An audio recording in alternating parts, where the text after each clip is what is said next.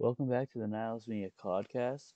We uh this week we have um Walter Banasiak from uh, Channel Awesome on the show.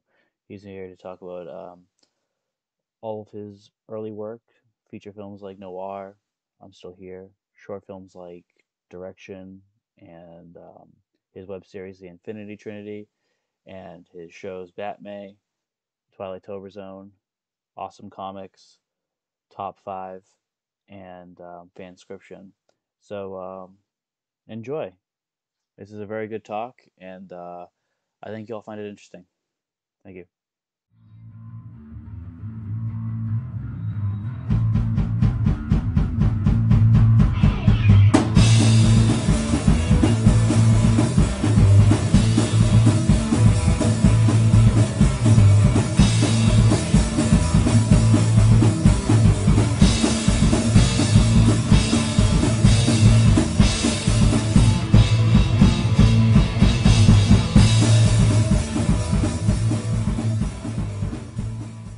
Uh, hi, Walter. Welcome to the show. Uh, Hi, how's it going? pretty good. Um, so, if you're not familiar with what I do here, I interview artists that I like, and I go through a deep dive through their their life and their work, and uh, try to find the central themes in their work. So, uh, first off, I want to congratulate you for what you for your last uh, Twilight Tober Zone. That was uh, incredible. I love the whole demo reel aspect to it. Oh, thanks. Thanks. Yeah, it took a lot to put together.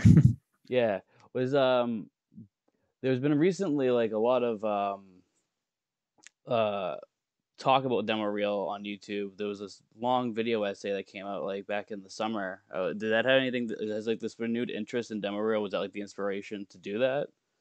no, I I didn't know about that until after. I think um the creator like tweeted something about like our teaser. I was like, oh no, demo reel's coming back or something.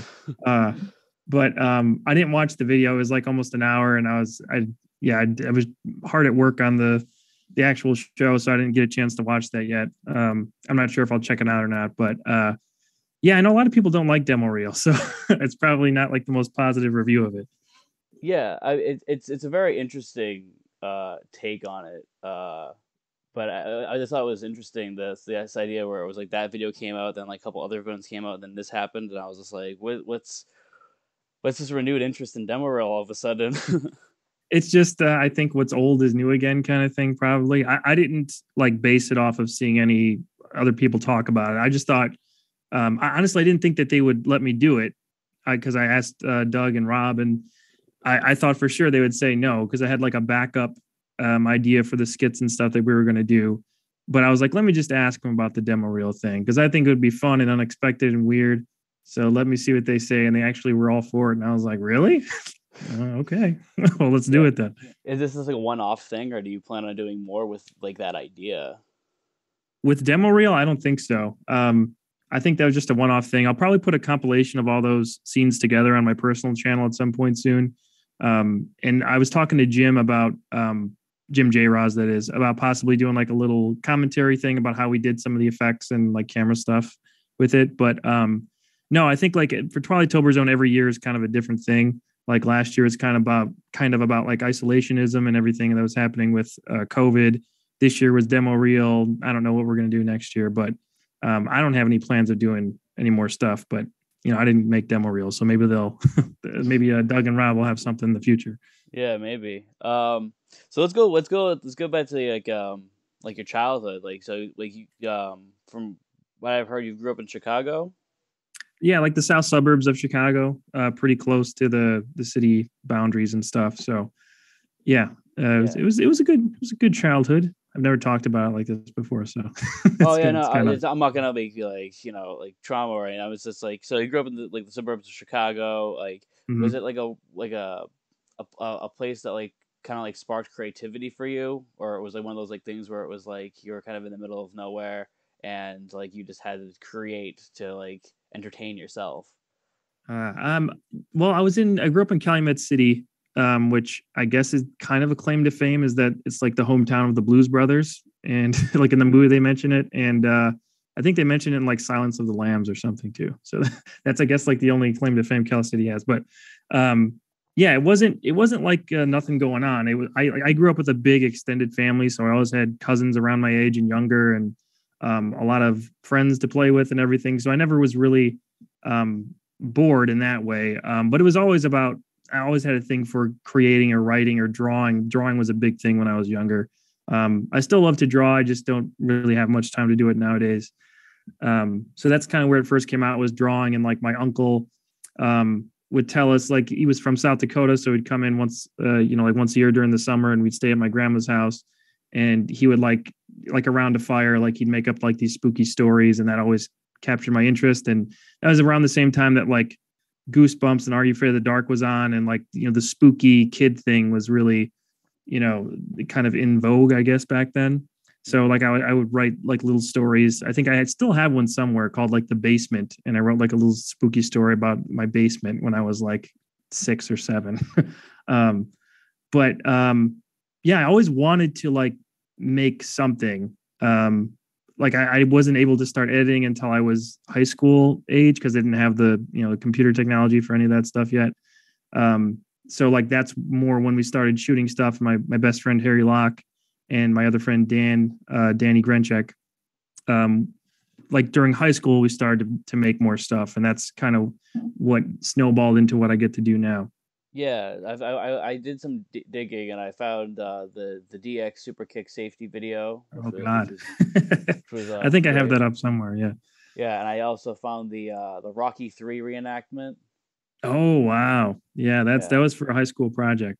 Yeah, it, it's it's very it's it's very good because like I mean I remember doing uh, high school projects like that and I was nowhere near that level at, at that time. You know, oh really? um, yeah, I thought uh, Rocky was like I love Rocky, so that I mean I've, I've always loved Rocky, so that was kind of a a fun thing to do. And my teacher said that we had to like recreate a scene and shoot it just like the movie. I was like, well, I'm gonna do a Rocky scene. so. Oh yeah, yeah. I mean, uh, Rocky was also one of my early interests. I remember back when I was like a little kid, uh, when Rocky Six was coming out. Uh, so oh, yeah. probably like twelve years old or something. I mm-hmm. remember obsessively watching the Rocky movies over and over again for like that whole year until it came out. yeah, no, I was I was the same way. I mean, uh, I think I was what was that 2006. I was just a couple years older than that, but uh, pretty close to the same age. So I, I grew up since I was like eight, I think, um, just loving Rocky and like um, I'm half Italian. Like my mom's side is 100% Italian, so like kind of have that sort of connection to it too.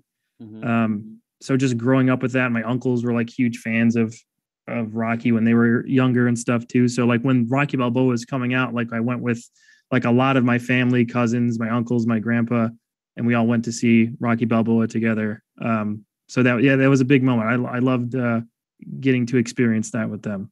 Yeah, um, speaking of your family, I know your your family appears in your films all the time. Uh, like they're they're they're all throughout the Infinity Trinity. They're in Noir and in I'm um, Still Here. Um, mm-hmm. Are any of them also like involved in the arts like you are? Like, do, uh, are any of them other like aspiring writers? Do you have like an uncle that's like uh like like a theater person or musician, whatever? Um, well, my dad um is a pretty creative guy, but he doesn't really explore that side of his uh personality anymore. I used to he used to play drums um, for um, a lot of different bands. He used to live in California and would do a lot of different um, more creative things. He never like was interested in movie filmmaking or anything like that, but his his music was his thing. Um, so he was big into that for a long time. Um, my uncle John, who um, was the the uncle who came by once a year from South Dakota, he is a professor at uh, I think University of South Dakota. I think that's what it is. Um, and he's like a um, uh, photography professor, and he's like big into photography and um, has been recognized by a few like bigger uh, entities and things for his work with that. So he's more of the creative side of things. His son, my cousin um, Byron, uh, travels around and does shoot some some of his own things, but I think that's more like documentary type work. Um, mm but yeah, like we do have some. There's some creativity uh, around in the family, but no one's ever like pursued filmmaking specifically. Um, I have a younger cousin who like did it for fun, but didn't like do it professionally or didn't try to do it professionally. Um, so yeah, we all have our different, you know, creative outlets. My brother uh, plays the drums like my dad did and everything. So my brother draws really well, but he doesn't do it anymore, which always frustrates me. but Yeah. uh, yeah, uh, yeah, we all have that gene somewhere in us. Um, but yeah, I think I'm the first one to really try and make films at this point. Yeah, um, that's it's always interesting because like I also grew up in a family that wasn't like a hundred like no one really pursued film in my family either, and but it's Mm-hmm. al- so I always find it interesting of why someone decides to pursue it. And I know that you've said that you were very influenced by Christopher Nolan and um, Mm-hmm. like '90s pop culture is is you know like the Are You Afraid of the Dark kind of like sparks. But what was the moment where you were just like, you know what, I could like I could make movies. Like this is what I could what I, what I want to do. I don't know if there's ever like a specific moment. I, I grew up loving movies and TV shows, and you know, I, I never thought I could make them. It was never like uh like yeah, I'm going to do that when I grew up. I just didn't know where you would start with that kind of thing. Um, I do remember watching Batman Begins and being like enthralled with like the behind the scenes uh, extra features on the, the uh, DVD I had because they had like really long extended featurettes about how they did a bunch of stuff uh, from that movie. And just i remember like marveling at like the scale of everything that they built like all of the narrows from gotham city in this like warehouse. And i was like oh i can never do like that's huge. That's like a gigantic thing.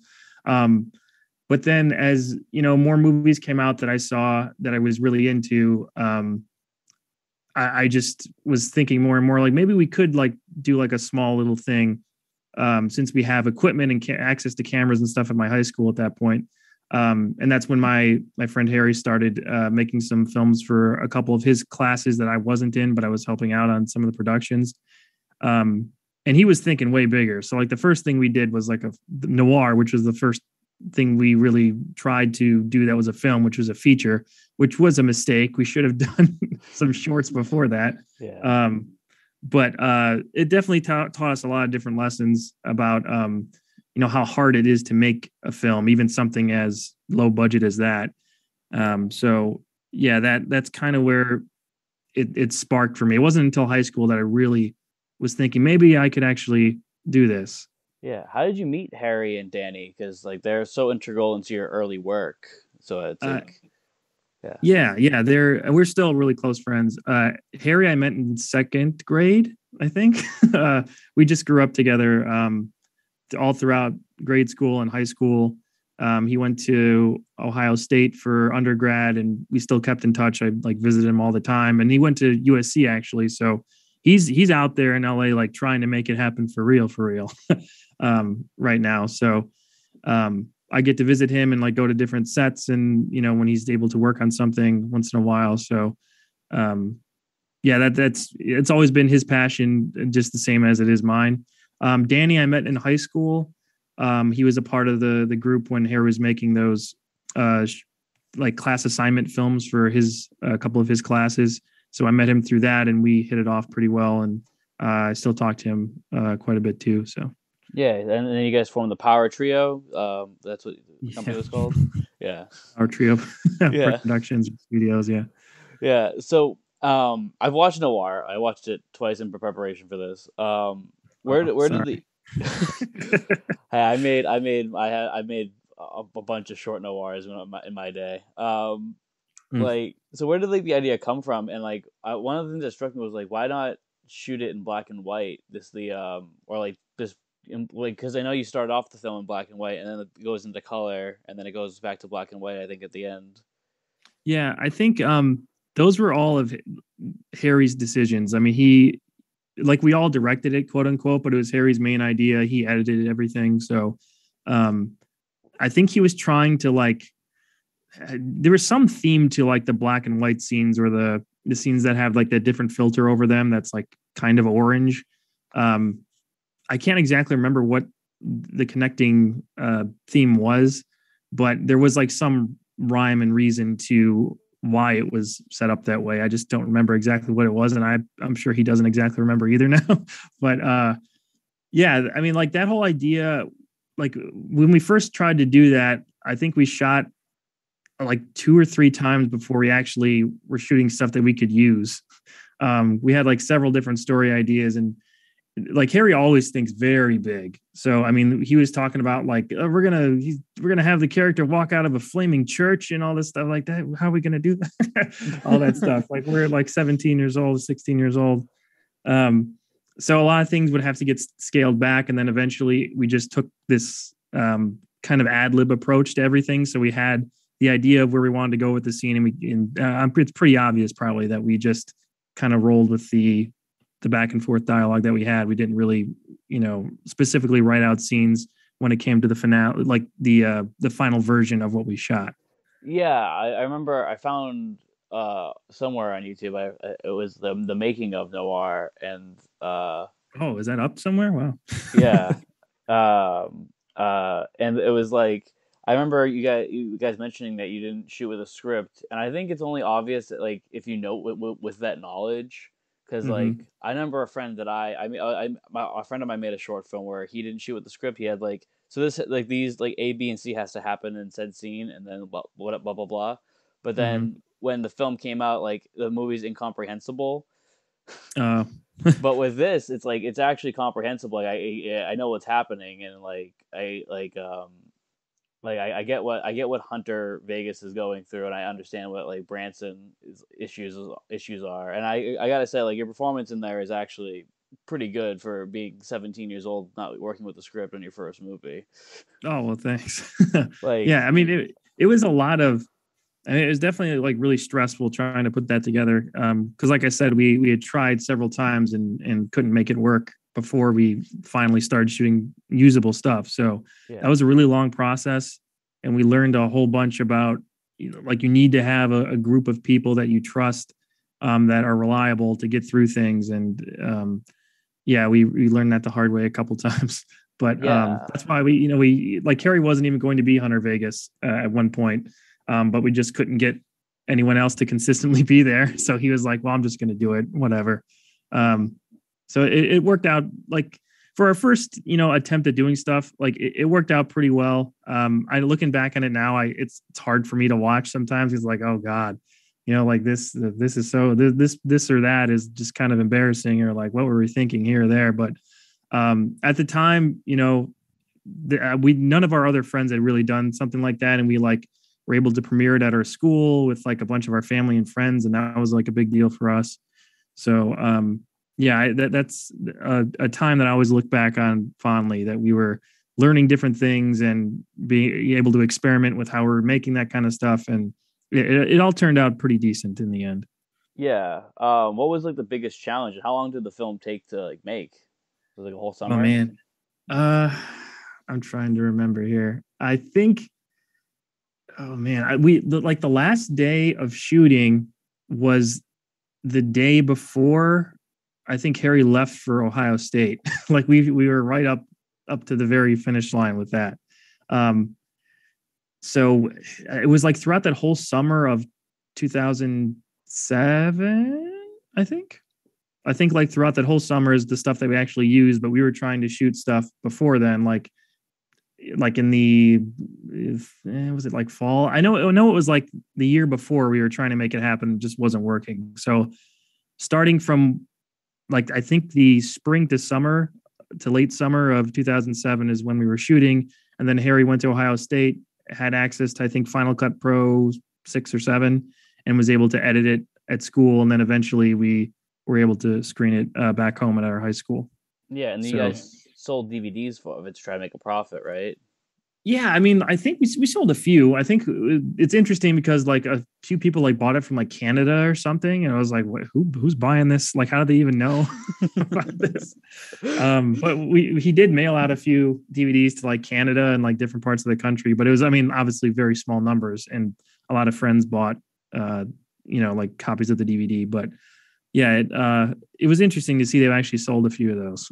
Yeah, well, like so like um when did you make that the final decision to, to not shoot with the script? Because I know I remember in the documentary, Harry says like the original script was like three hundred something pages long.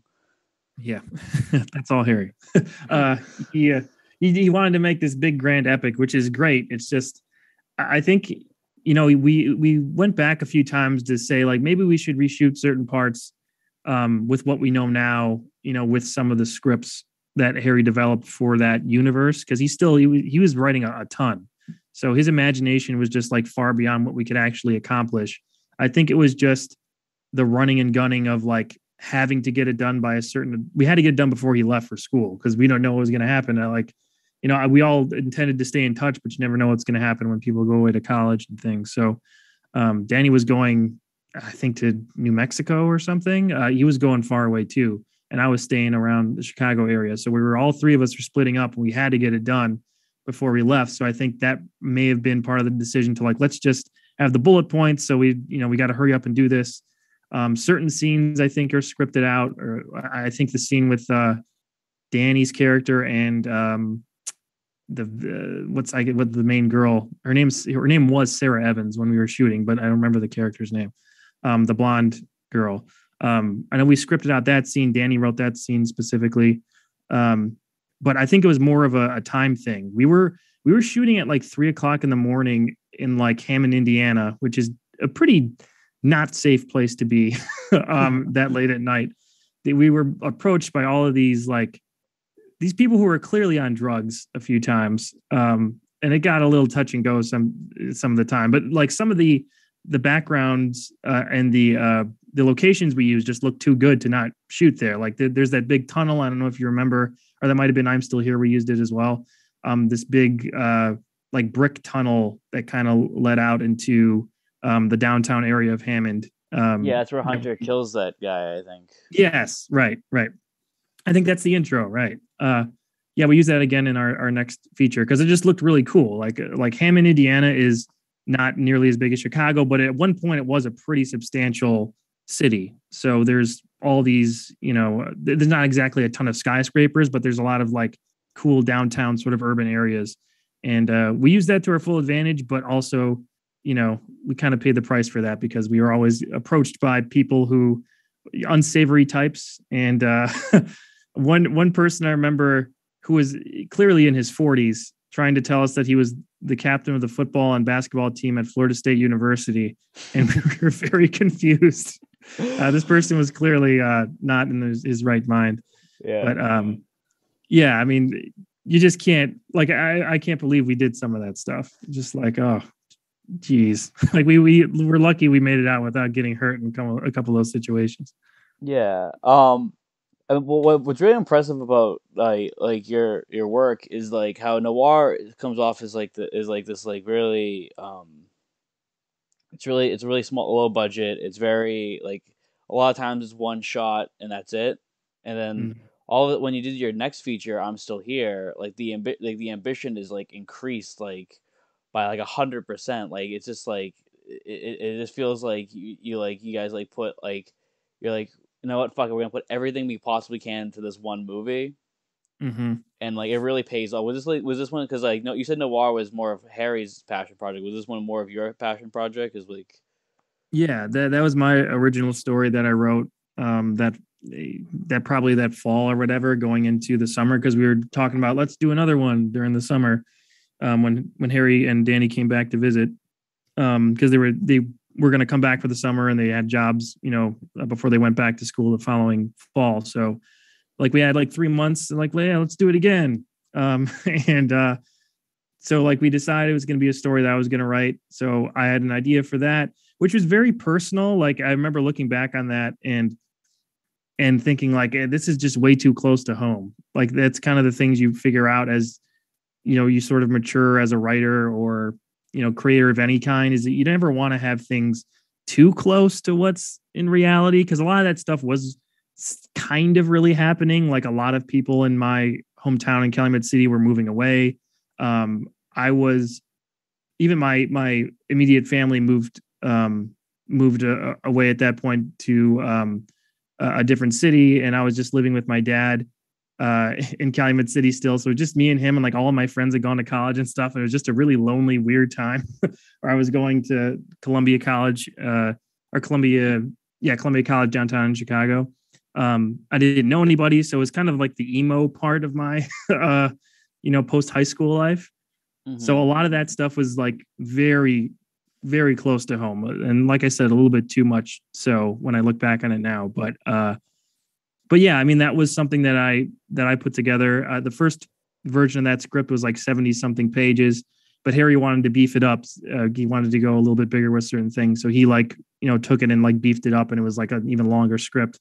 so I think it was like over two hours. Uh, I'm not exactly sure how long I'm still here is, but uh, the script was really long after he got a hold of it. Yeah, I mean, I think uh, I think that the the hyper personal aspects that you were describing actually really come off, and they really actually elevate the film. I think that it comes across in your performance where um, I, I think that you do like your character does have like this bitterness that everything is changing around him in the beginning and I mm-hmm. feel like it's it, it feels so real and then like the, the the the optimism at the end like because of like I guess like what you were going through it really like um, hits home and I I, I think mm-hmm. I I think uh, I'm still here is actually a really great movie. Personally. Oh wow, thanks. yeah. Um but I, I yeah, I was that's actually very interesting because I, I think that you like uh, I noticed that in your work that if it, it, a lot of your characters do feel very personal, mm-hmm. especially the ones that you play. Like, w- were you always going to play uh, Losaphine the whole like from the start? Yeah, I was always going to play that character. Um, yeah, it, Harry wasn't going to be the um the uh, the Perez the bad guy too. I think he like we switched that after a while to for he he really wanted to play Perez. At first, he was going to be the Tommy character, um, like my friend who's like not actually there by the end. Spoilers. um, yeah. But uh, yeah, like so some things got switched around with that. Uh, Danny was always going to play the um the cop character, the undercover cop character. Um, but yeah, I mean, yeah, I was always going to play the the Jason Losaphine character. Yeah. I, I really one of my, my favorite one of my favorite um, parts of that film is the is like the way you hint at Tommy not being alive.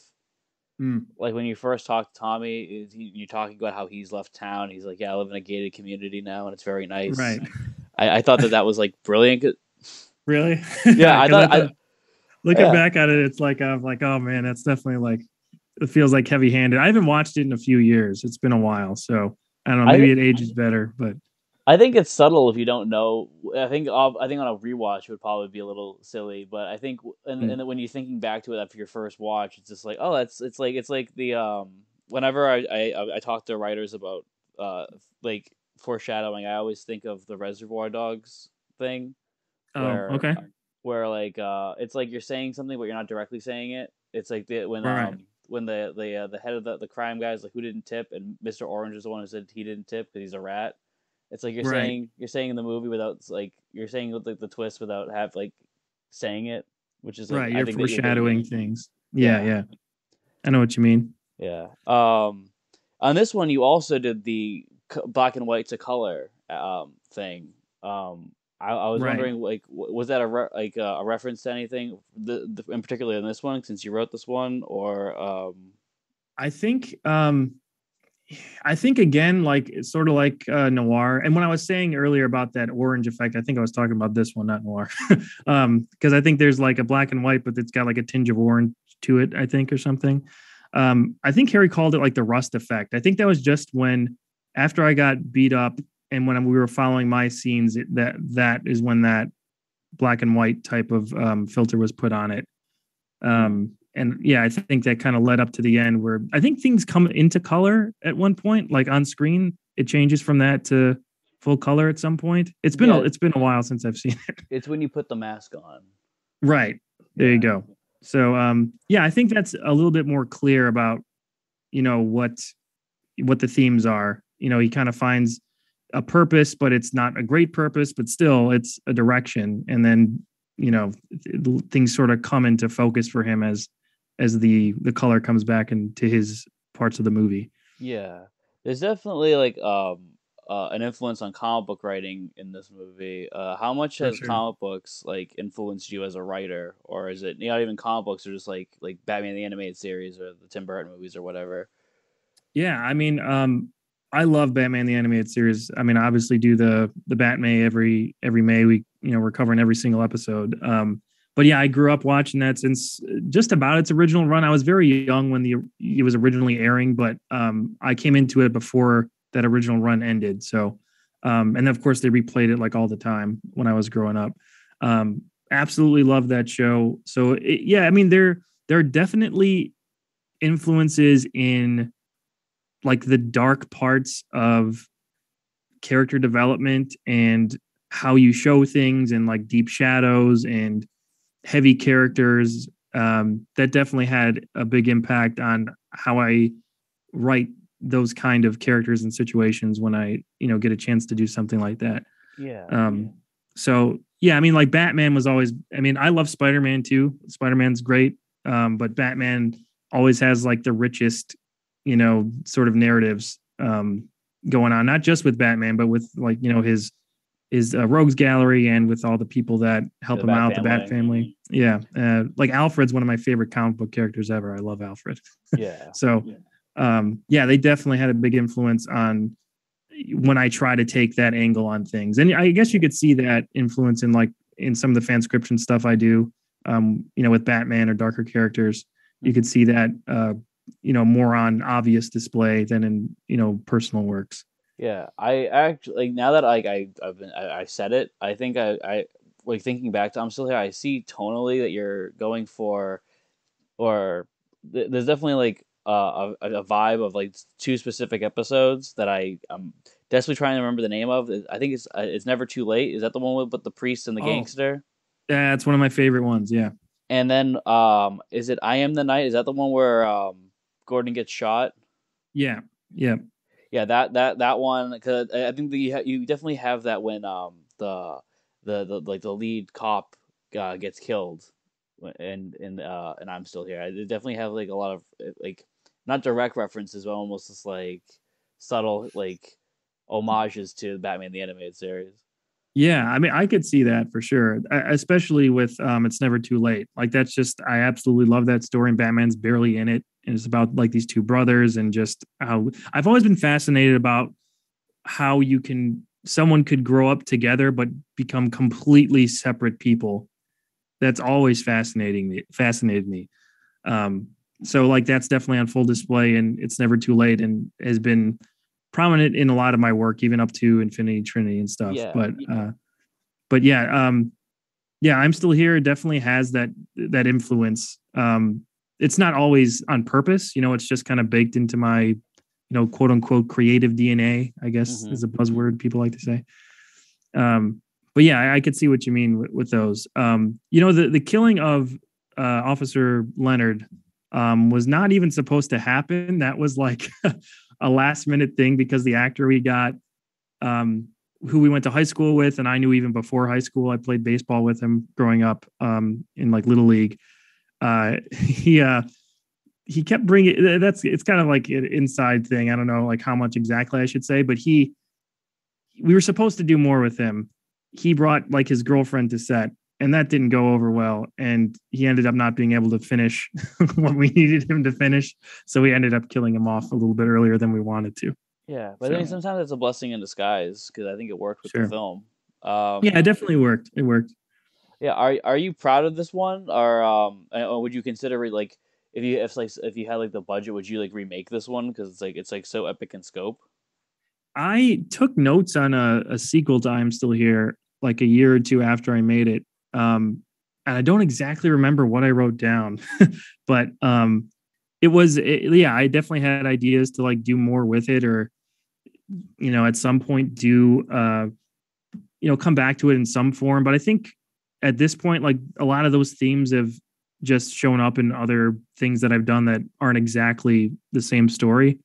So I don't think we'll go back to it in terms of like a sequel or a remake or anything. But a lot of the ideas from it, I still, you know, like implement in some work that I do or, or write. So, Yeah. um, yeah, yeah Um, and in, both Noir and I'm Still Here, and even in the Infinity Trinity, there's definitely like a, a religious like overtone into and in, in, a lot of it is like that like an important part of like a creative process where it's just like because I, I I always find um writing about religion to be kind of like interesting like someone's like devotion and, whatnot and i Mm. think it creates really cool character moments is that something you consciously do or is it like a subconscious thing no, it's definitely a conscious thing. I, I grew up Catholic. My family's very Catholic. So um, on both sides of my family. So um, that's always been ingrained in me since before I was born. um, Mm.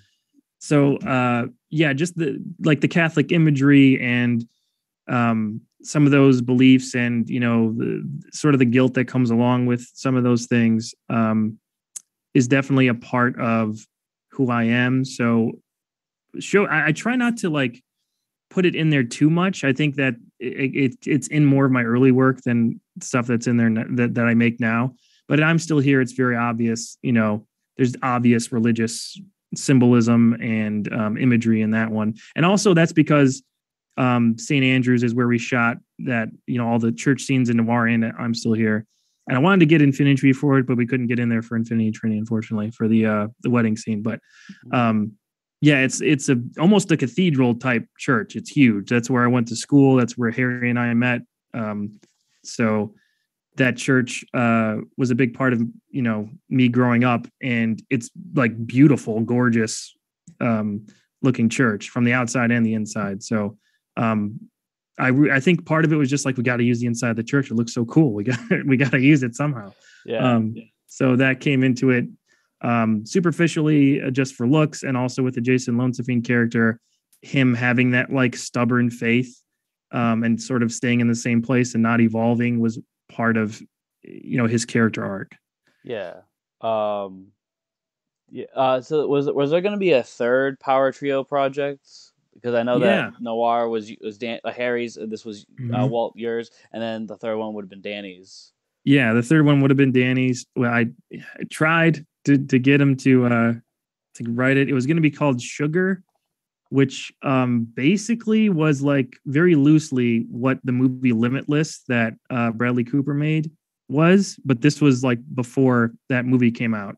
So I think after the movie came out, Danny was kind of down about it and didn't, you know, adapt it or finish the script. It was pretty interesting. I mean, it was definitely in the vein of I'm Still Here in Noir, and like it would have been like the next evolution of that. Um, I tried to help him along with the script, and eventually he did put something out. But like I said, because of that Limitless movie, it, it uh, it never, you know, came to fruition. I would still love to to make that. Try I try to get him to like, even if you want to make like a scene from it or a short film or like whatever, I'd still do it. Um, but he's not. Uh, it doesn't doesn't seem like he really wants to to dig back into that as much anymore. Mm, that's fair. Um Mhm. the next film that I was able to find in like your evolution was um a short film called Direction. Yeah, Um, this one feels uh even more like vulnerable and autobiographical than um I'm Still Here. yeah, it's definitely like the next step inward from I'm still here. um, that was the first project I, I got to make when I was going to college. So I was an undergrad um, on like a you know filmmaking type track at, at, the college, and uh, I was able to make something by myself. So this was a, without Harry and Danny, the first project that, that I, I really made, and um, it's kind of just when I look back on that one, it's it's a little like even more like you said vulnerable that I'm still here. Like it's just like a raw nerve, and I feel like it's a little. It like for me, it's just too close. Like it's too personal. So I I'm glad if other people have seen that and like it or can connect with it. But that's another one that's like, oh man, it's like way too close to what was really happening, and a lot of those themes are still there. And um, you know, you know, from I'm still here and have evolved a little bit, but uh, yeah, it wasn't. Um, it, I, I just would rather separate myself a little bit to make it more accessible to other people or something that I can watch later. um, but I was proud of that for sure because it was the first one that I made that I edited, um, wrote and directed all by myself. So um, yeah, I'm happy with with how that one turned out overall. Yeah. Um well so you said it's it's it's it's very personal. I won't dig too much into that one. Um but I do have one question. Was the uh was that like a DVD store DVD store that you worked at and were they pissed that you were make, basically making a movie about how uh it, it sucks to work at a DVD store? Oh no. Uh, so no, that that was uh, a friend of mine, um, Mike Dozier, who played uh, the Valentine character in Noir, the bald guy. Um, he worked there, um, and he let me shoot there. Uh, I think we went in before they opened or after they closed or something.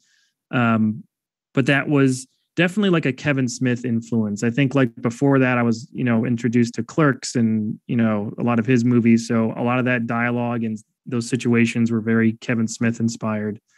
Um, and it's plainly plain to see if you know that. Like if I, you know, if I told someone that and then they watched the movie, they'd be like, "Oh yeah, I could totally see that." Yeah. So, um, yeah, that's kind of where that that all came from. But they weren't no, they weren't mad about me making uh, a, a, movie about how much it sucked to work in a video store. And they're not even around anymore. So uh, that place un- closed a long time ago. That's unfortunate. Uh, one thing, even even though like the film has like this at first like really like depression like depressing like harsh like reality uh, tone to it i feel like with all your work like you no matter how like dark it gets like with i'm still here or direction um, there's always like this sentimentality in your work and this like internal optimism mm-hmm. that like um that's almost it's, it's very infectious where it's just like no matter no matter like no matter what happens in the end you know it's just like everything um it's almost like it's almost it's like it's like a spielberg maybe influence where it's just like no matter what happens in the spielberg movie at the end it's just like where like the world isn't that bad. I'm yeah, maybe it's a spielberg thing. I'm not exactly sure.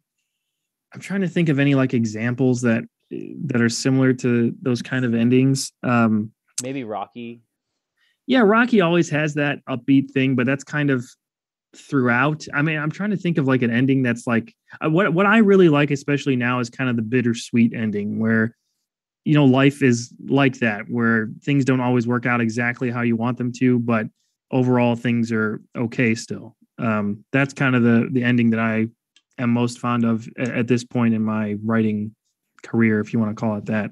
Mm-hmm. But um, yeah, like some kind of optimism. I I just never like when a movie ends on a, a, or a story would end on a downer just to end on a downer. Like if it makes sense for the film, then it's great. It makes sense if that's what the story is supposed to be and, and it all matches up. Then yeah, that, that could still be a great ending if it's not 100% positive. But um, yeah, like when it believably comes around to a positive outlook and the characters are better for going through their journey in the story. Um, that's something I'm I'm always a big fan of. If the movie is good and if you earn the ending, that's very important. If you earn the ending where there's a positive ending or there's a positive outlook or the character gets something out of that journey that will improve his or her life going forward, then that's that's my favorite kind of ending. But you have to be on board with the character. Um, a lot of the times people, you know, talk about story versus character and what's more important. I'm always on the character side. Like you you have to get a character that you either like or at least can sympathize with on some degree or has to be extremely interesting for you to invest the time that you have to when you're watching the movie. Um, so you can follow their story and be interested in and be invested in what they're going through. Um, people like a lot of people have the the opposite opinion about like you have to make sure that the story in the world and you know uh, everything else around the character is more important. Um, where i'm the opposite on that uh, so th- those kind of endings are, I feel like character driven endings. Um, that's definitely like in, in I'm still, or in, um, what you call it, in, uh, Infinity Trinity, there's a lot of that, uh, yeah. I feel in the ending. I definitely agree with you on that. Um, I'm when I write, I definitely am more character based, and I could care almost care less about the plot. Right. I just, I just like I enjoy like character interactions and just like seeing how right. people, different people's like uh, psychologies inter- like can affect each other in, in that in that in, in, a sense. And right. Like, yeah. And, yeah, absolutely. And and you know when it, I just love the build when there's you know like the the journey that you go on with these characters. Like oh, this is my favorite part. This is a great scene, but it all it all leads to something. You know, um, there's very few movies that I like where they're just having scenes just to have scenes or interactions that don't really mean anything if it's in service of where the character or the plot is going, that's when it's always firing on, on all cylinders. Like when you get a really small moment or a really emotional moment or um, just a really strongly acted scene from whoever, um, if that leads to something else and like you know where where do we go from there um, and it leads to a point you know some kind of exciting climax or emotionally exciting climax it doesn't have to be a big fight or something you know it could be um, someone leaving or you know some kind of um, resonance with that character where it's earned and it makes sense so as long as things are going somewhere you know that that that has to be in there. I feel like too. Oh yeah, absolutely. Um, so your next project that you did was the original short for the Infinity Trinity, I think, right? Um, I think so. Yeah. Yeah, uh, I haven't seen that, but, I always wanted to know like where did the idea spawn from, and then like what was it about the Infinity Trinity that made you want to do a series based off of it? Um, the original idea for Infinity Trinity, I I can't really remember what like sparked the idea, but I, I, know I wanted to do a comedy. I really wanted to do a comedy. We had never done any any of that stuff when I was with Harry and Danny. Uh, direction is certainly not a comedy, really. I mean, there's a couple funny elements. You could kind of see the evolution about where you know the parts that I focused on with Infinity Trinity stuff, but um, I, I definitely wanted to try out a comedy, a pure comedy. Um, so that's where that came from, and I was uh, very influenced by like Boy Meets World, and again like some of the Kevin Smith stuff. Um, but I didn't want to lose heart to the whatever story I wanted to tell. I, you know, like comedies are great, but like if there's no heart or you know if things that happen to the characters just don't matter at the end of it i don't really care that that much unless it's like the three stooges which i love but those are it's a unique thing yeah um but uh yeah there's some and then where that sentimentality comes in again i think ties directly into infinity trinity where i wanted to tell a story that had a lot of heart and had characters that um i would hope the audience would care about but tied up with like these funny situations and um humorous events that would happen in the story and things. So I think it, I don't know if it was anything specific that inspired it, but I definitely knew I wanted to do a comedy and that's kind of where we went with it. Um, yeah, I, in terms of like making into a series, as soon as I made that, I just, I loved how it turned out. Um, I screened it at, at uh, one of my semester ending semester um, screenings in, uh, in college. And like the crowd was it was like full. It was like a full like little theater that we had and we were all screening our stuff. And the one that went before it wasn't great. I remember everyone was very like what the heck was that? It was one of those kind of student films. And then we put the original infinity trinity short film on and people were like laughing like crazy and you know like really really into it and i definitely had like friends and family in the audience but it was only a small section i mean the whole audience was really into it, which I was like surprised about how much they liked it. And getting that rush of like, like, oh my goodness, they they like the, the comedy. There's a laugh when there's supposed to be a laugh. There's even laughs when I didn't think there would be laughs, you know, that kind of thing. Um, it's just like a drug, you know, if you're watching it, it's just, you know, if you're there when it's happening. Yeah. Um, so like I think that had something to do with it. Um, but just the potential of those characters and like the ideas I had about where they could go definitely influenced m- my decision to make it a series. Mm-hmm. Um, and I'm lucky I got to do that. I definitely owe my friends a lot for sticking with me through those couple years that we shot all five episodes and the actors that stuck with me. I, I can't say enough gracious things about them because that was a long term project that they all stuck with me for. Yeah, it took three years, right? Uh, just about, yeah, three years, just for shooting. Yeah. Yeah. Um, it's funny that like um they uh, so like uh, one of the things is like uh from the trailer that I've seen um it, it's interesting because mm-hmm. it kind of starts off as a drama and then it becomes a comedy, which I think is like a cool like segue for like your artistic like interest. Sure, sure. Where like well, at least from what the trailer gives us, it's like uh, I think Jimmy's character is um like Riley had a heart attack, I think, and then he, he had like a right. He had like this um, heart defect kind of a thing, um, and he can't like he can't get it like too excited. That it's it's it's a basic kind of like serious thing, but it's a, a comedic setup for later that he he can't get too excited, but he's you know, I mean, like he goes around Eddie, like my character, who's a goof and mm-hmm. goes back to his hometown, that kind of thing. So yeah. Um, he was the main character in that first one, like solely the main character and then things kind of shifted with the series. Yeah. But um, I would like to put that up eventually because it's still, excuse me, like technically in continuity, quote unquote, with the with the series. Like I would just call it like episode zero, and I would put it up. But um, there are definitely things I would want to like go back and like fine tune a little bit and maybe have an original score made for it, and then post it. Um, but I just haven't had time to to do that yet. But luckily, I made the series where you didn't have to see the short. So the the short film would be just like an extra pre- prequel kind of thing. Yeah. Um I I feel like the the series itself has um it's almost like a a love letter to almost everything that you love like you like But it has like the rocky references it has like this like mid 90s sitcom feel it also has yeah. like like um like the like the the mob It's like a cartoon uh mm-hmm. yeah I, I think i think and I, I think it comes off as just like this joyous celebration to creativity almost oh well thanks yeah especially i think the best one uh the best episode is episode three I yeah, a lot of people say that the Christmas yeah. episode. And I think it's just I just think that the, the the the scene where Riley is going around trying to find the necklace um for the, for the girl and she's singing mm-hmm. the thing and she's and she's sad that like he's not there but it's mm-hmm. just like he's he's he's actually there in like more ways than one if that makes sense yeah and yeah and then like this like the heart-wrenching moment at the like i think it's, I think it's at the end of the episode where um your your character's brother sees the picture of like of you two as kids, and it's just like yeah. it's just it's just a heart wrenching moment because because like we as the audience know that he's like like betraying his brother, and every like when Eddie has no idea he's oblivious. It's just like mm. it's just it's just really really well done. Thank you. Yeah. Um.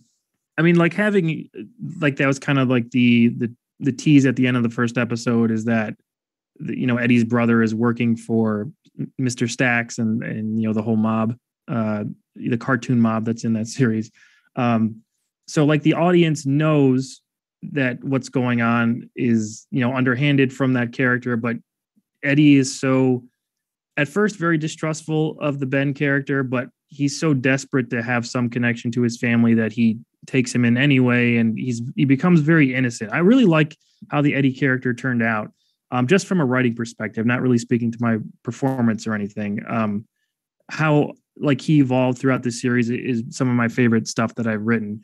Um, and his stuff with Ben, I, I, think Paul Paul Wertak is the the actor who portrayed Ben, um, Eddie's brother, um, was just perfect in that role. And I definitely wrote towards his strengths.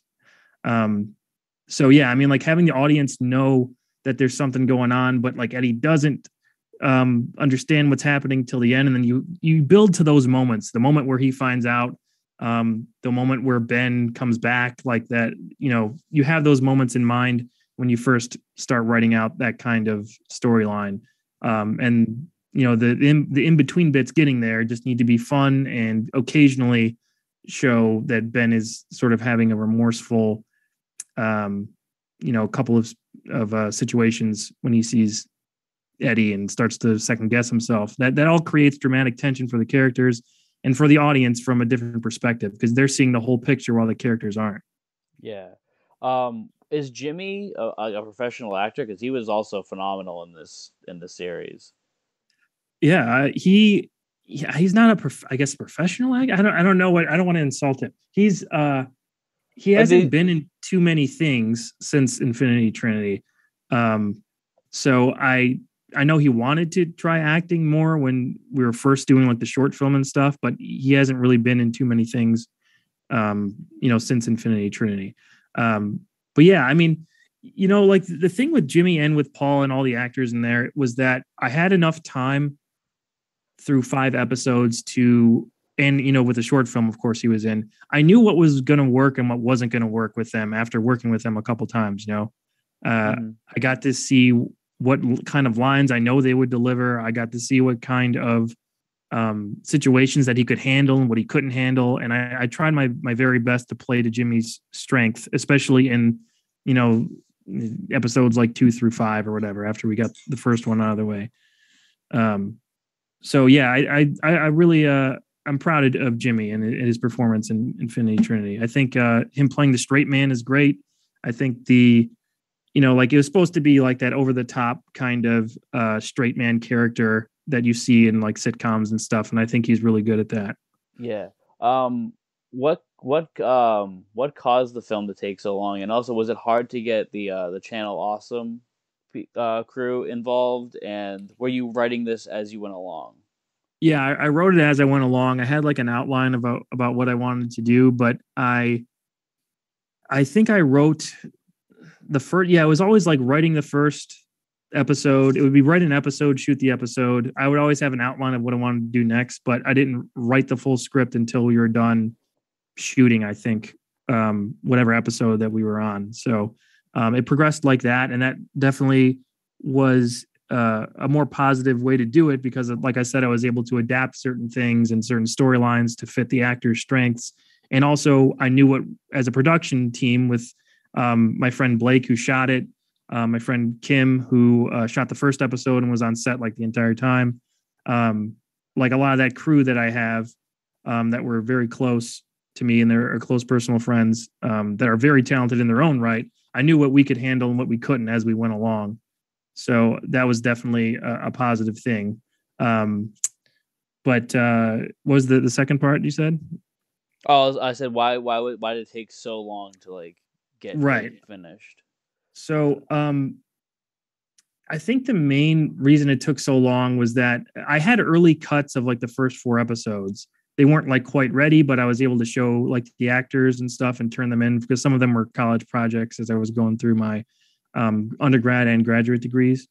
Um, so I had early cuts of those first four. The fifth one, I think I wrote out, but I started working at Channel Awesome, and that was just like full on. I was, I was you know, producing, editing, hosting awesome comics. I was writing, um, acting in or whatever, you know, hosting and uh, editing top five, which took a million years to put together every week because I had to watch all these movies and everything. Um, I was helping edit Tamara's Never Seen. Um, I was doing a lot like right off the bat with Channel Awesome, and there was just no time to go back to Infinity Trinity for quite a while. So when things kind of calmed down a little bit, we stopped doing awesome comics. Uh, Tamara mostly took over editing for her show. Um, and I was just doing top five every week, which is still a ton of work, but it gave me enough time to like go back and write that fifth episode um, or clean it up uh, and then add in the cameos with the channel awesome people. Um, and it wasn't hard to include them into it. They were all on board with it. Um, and uh, yeah, that, that was a, a, lot of fun shooting that, that fifth episode. We got to really, I tried to be a little bit more ambitious and we had like different locations and you know, with everyone's cameos and schedules, it was definitely a, a maze to kind of put together. But um, I'm really proud of how it turned out. So yeah. Um, so like, so you said you were doing this as a college project. Was it uh, so? Well, you were using them as college projects at, at times. Were, were, did you use this as a mm. thesis film? Um, no, I actually have for my graduate thesis. I have a film called Owen at the Bat, which is it went kind of back to like the sentimentality about this this kid who plays um, baseball in the, like a parking lot with his friends whose grandfather just passed away, and it's kind of about you know him getting over that. And like, there's a friend who friend of the grandpa who's like the mean old man who always like yells at the kids, um, who like the the main character didn't know that was his his grandfather's friend, and it's kind of about their relationship. That's a short film. Um, Harry came out to shoot that for me. Um, when I was finishing up graduate school and I had my regular crew on that. That was done like in between Infinity Trinity shoots. I was just trying to get as much content done as I could while I had all like my friends around and like it was for college credits. So, like I had to do it. So like mm-hmm. um I was just trying to uh get as much different things done as I could. I don't know when I'll put that up. I mean I'd like to, but um that definitely needs some some work. I was able to turn it in um and you know with the passing grade and all that stuff. But I, I would like to put it out, but I would like to um, you fine know re-edit some things. Yeah, fine tune it. Yeah. But uh, yeah, the, the, Infinity Trinity I used the first two episodes. I guess like three if you count the short film, were all college projects. So starting at the third one um, was when it was just for me and for you know everyone who was working on it. Yeah, and it was during this time you were doing Reel Reviews, and then you got to work with Channel Awesome after mm-hmm. um, mm. you interned there for at first, right? Yeah, yeah, yeah. And how did you pull off getting like two shows to host on your own, by like right from the get go? At Channel Awesome. Yeah. Um. Well, I wasn't really planning on that. They just kind of asked me. uh, I did. Um like so I interned there and was helping out just like production stuff behind the scenes on Nostalgia Critic and stuff like that. I think they had that game show that was going on at that point. Um, which I was helping out on a little bit here and there. And there's a couple other extra videos that weren't posted that they had me edit. Um, but yeah, that was all just like behind the scenes work, which is what I assuming what I was going to do. Um, I, you know, I, it's fun to be on camera sometimes, and uh, I love, I really like acting. Um, you know, in, in, projects that I like, but I wasn't planning really to do that much with, uh, with Channel Awesome. So with the Awesome Comics thing, I think it was a, it was like an idea that they were going to do before when they raised money for, when they moved into like the new studio and all that stuff. So when I came on board, Jim uh, Jim Jarosz was like really trying to push to make that show happen, and I was trying to pitch different ideas that we could we could do it. Um, so eventually, I just kind of fell into the the hosting position with that, and brought in my friend Porter, Brian Porter, who's also in Infinity Trinity as well. Um, he was able to be on there, and then we auditioned uh, a few people, and that's where we got Ayana and Heather on board. Um, and then top five was just kind of an out of nowhere thing where my boss called me up one evening and just told me I was going to do this countdown show every week about the top five best and worst performances, you know, of a certain actor or whatever. And later, later I was able to expand on it and kind of ha- have fun with it in a different weird way. But yeah. um, yeah, that was not the top five was not my idea initially. Yeah, I, I, was gonna ask actually was like because like well, at some point uh, I had to I had to like rewatch the top fives to, to for, in preparation for this. So like, but like, so was the storytelling aspect like very important for you as a as a way to like make it not get as repetitive like get repetitive in a way maybe? Yeah i mean it started to kind of get monotonous with just doing the countdowns and I, I was itching to do something creative just anything you know? Because um, i think that was in between infinity trinity things and i just wanted to shoot some original stuff. So that's when heather and ayana came on board to help write and also because i mean like the amount of research for top five is ridiculous like the like i was talking about earlier like the amount of movies and tv show episodes and all that stuff i had to watch every week for that was just crazy and i didn't want to i mean they, they was suggested to me sometimes oh you don't you can take it easy you don't have to watch all this stuff but I, I, I didn't want to half-ass that show. I wanted to watch as much as I could. I mean, there's no way I would be able to watch like every Tom Cruise movie or whatever, but I did the best I could. Yeah. I know a lot of people don't like those those specific ones, uh, but mostly because I wasn't able, I didn't have time to watch as many as I wanted to. I mean, there were times where I was watching six movies in one day, yeah. multiple times a week. Um, so that it was just crazy. Um, yeah. So bringing on Heather and Ayana to kind of split the workload on that a little bit helped me out, and that kind of freed us up to start doing like the "Where's Walter" thing, where I went missing from the show for a while, and then started doing May. that weird yeah, the Mario May stuff, and then like that weird uh, Power Ranger stuff we got to do with Dino Rob. So it was all just fun, goofy stuff um, that I'm, I'm, glad I was allowed to to do in between the, the countdown segments. Yeah. Um, why? And here's a here's a double question: Is why did Awesome Comics get canceled, and then why did Top Five end? Were you just burnt out of it and you wanted to focus on fanscription, or? Um, with Awesome Comics, I think just the views weren't there. It was a very expensive show to produce. Um, even though, I mean, you know, it, it doesn't like the, the set looked great, but I, we were shooting in our warehouse area, so the sound was kind of echoey, and um, we had like this whole lighting set up. Uh, so even if it didn't always seem like it was an expensive show, it was an expensive show to, to put together. Um, because we had multiple people sometimes working on the lights and the audio was a constant problem on that show as well. And it just didn't justify the views we were getting for for that series. Um, i think we started to figure it out towards the end of the run um, like kind of like bring up more topics instead of reviews um, and debates and stuff. And that was always fun to do when we were in that format. So it, it just wasn't bringing in enough money to, to legitimize to keep it or yeah, to, to, just to keep it going, you know. Um, as for top five, um, I think a lot of it was like was burnout. Um, the views on that also went way down, and fanscription was becoming very popular, and I loved doing fanscription. Um, it was a little bit of an easier schedule. I mean, that's that's once a month, but a ton of work goes into fanscription um, every time we put together a video. So um, I think it was more focusing on the stuff that was working and you know top five kind of had trailed off a little bit at, at, one point that was doing really well and that just kind of you know faded. The interest faded. You know, it's like how many countdowns can you really do that are Yeah. popular?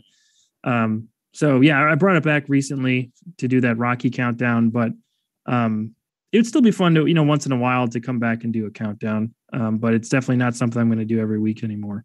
Yeah, with fanscription, and I from what I I think you, you mentioned why you did it was because you wanted to you desperately wanted to say do the story of why Apollo didn't die and and what if Apollo, Apollo didn't die in four?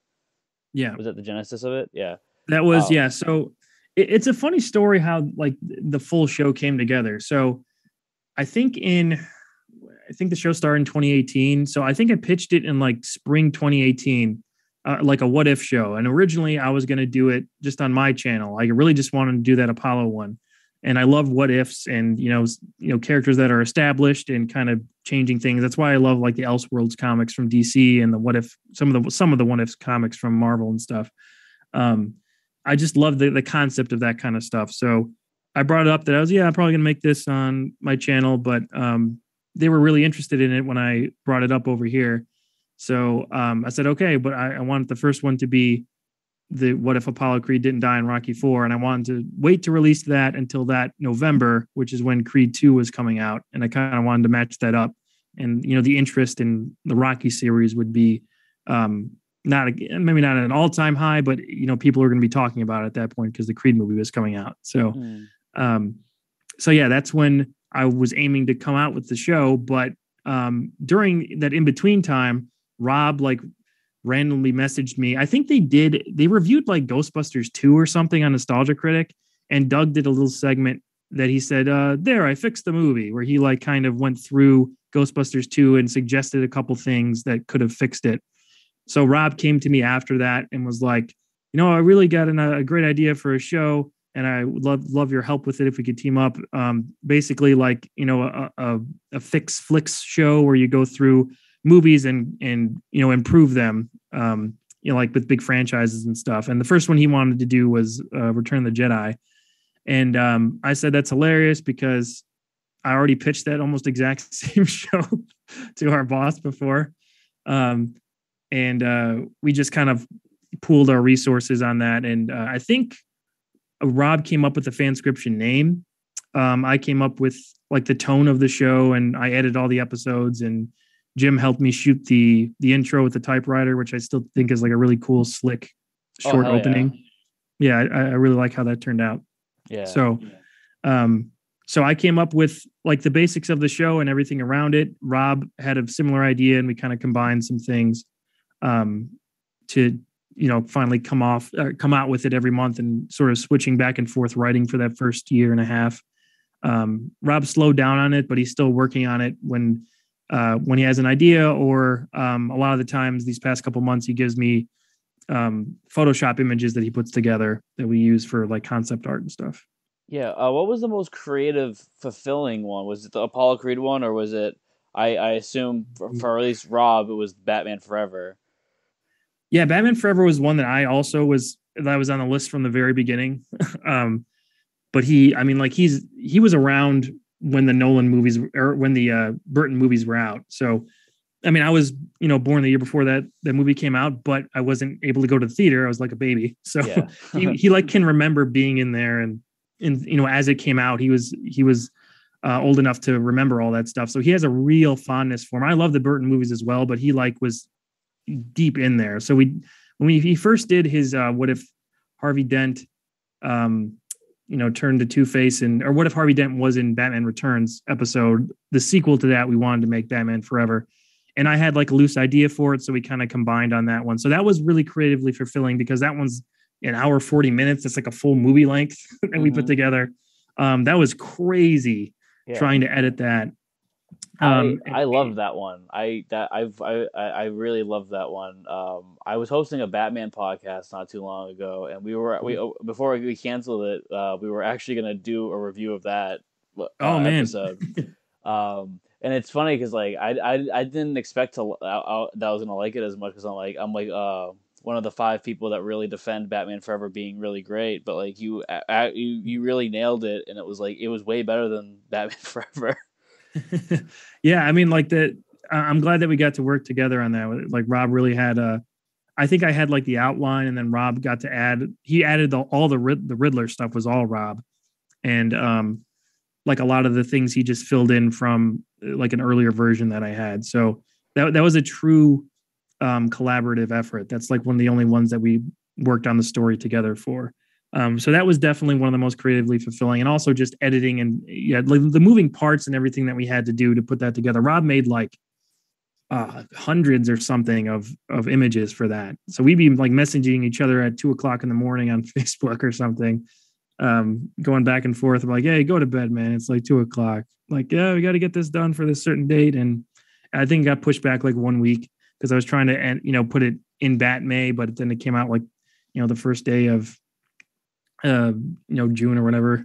Yeah. Um, but yeah, that that that's definitely like as an overall perspective, like maybe my favorite one um in terms of just creatively. Uh, but I also love the how the Back to the Future 4 one turned out. I didn't expect people to watch that one as much as they did, but that that one's got like a big uh, view count and a, a lot of comments from like big YouTubers, which is like kind of crazy.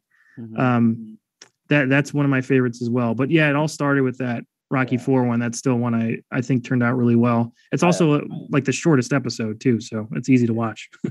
I loved the Back to the Future Four one as well. Um, me and my buddy who like uh, we like as soon as that came out, I was just like, because he's a huge Back to the Future nerd. I was like, hey man, you gotta watch this because this this guy knows how to like make what if sequels, and he was he was blown away by it. He was just like, that is all I could have asked for in a Back to the Future sequel. That's awesome. I'm so glad people like that one because I mean that was one of those that I didn't think people were going to be that into. I just wanted to make it just to make it, and like you know, what if they did make a four? How I would do it, and you know that that that one really uh, a lot of people really like that. So thank you for uh, for saying that. Like a lot of Back to the Future people, a lot of big fans of the the series, um, mostly really like it. So I mean, I'm you know blown away by the uh, the support and the nice comments from everyone on that one. Yeah. Um, are you guys? Are you and Rob still working on what if uh, Tim Burton did Batman and Robin? Yeah, I mean, uh, I have like an idea for it, uh, and that's going to be out at some point next year. So that's going to be another super long one. Um, so you can look forward to that. I, hopefully, I'll have some more time to work on it because I was finishing up Batmay as I was going right into the Batman Forever stuff, and that was an insane schedule for a few weeks. Yeah. so, that, uh, yeah. that was my next question. What started Batmay and Twilight Tober Zone? And would you consider doing the storytelling aspects for Batmay, or is it just strictly for the Twilight Tober Zone? Um, there was, you know, I, I didn't really want to do any storytelling elements for Batmay. That was always just me talking about the show because I love it so much and have, you know, I have like Batman animated the book that's like has a bunch of behind the scenes information about it. Um, I have all the I have the DVDs and the Blu-ray set, so like I have all these commentary tracks, and I know uh, or I have access to a lot of the behind the scenes information about a lot of those episodes. I've also been in contact with some of the the, the directors about possibly being interviewed for next year. I tried to get them on this year, but it just didn't work out for scheduling for them. Um, so I won't do like story elements for Batmay like I do with Twilight Zone, but there might be an opportunity to interview some of the directors of the episodes, which would be freaking awesome. So I hope that happens. Yeah. And was this like something you pitched Channel Awesome, or was this like something that they were like, Walter, we know you love Batman. Want to talk about Batman for an entire month? Um, this, yeah, this one was my idea where it was like I wanted to do that from a while ago, but it, we just couldn't fit it in with all the other work I was doing. Um, but then, like with the pandemic starting, um, you know, we didn't know where we were going to be with, you know, like uh, revenue, or we didn't know how it was going to work. Like, were people going to totally tune out? Like, what was going to happen? So that's kind of when I volunteered to do Batmay just so we'd have another month because we already had Disney December, which Doug posts a Disney review every month or every day in December. So I thought, yeah, let me, let me do that Bat uh, Batman idea uh, for May, and we'll just call it Batmay. That's like yeah. an easy way to you know put together the month and the name. So um, that's where that came from, and I was able to to do all that uh, from home. Like I didn't you know I didn't need to shoot anything on camera. Uh, it was all narration and writing from home and editing from home. So that was those were easy to put together, but hard to um, you know like as a as a whole, it was it took a long time to put those all out. Yeah. Um. So one one question I wanted to ask about Channel Awesome is like this is more from like a perspective of someone who's like like, like how to deal with criticism is like how do mm. you how do you handle being in like a video or something that gets heavily criticized? Does it like hurt like does it affect you like personally or do you just brush it off as just like well, you know, we messed up a project, but you know, it's on to the next one.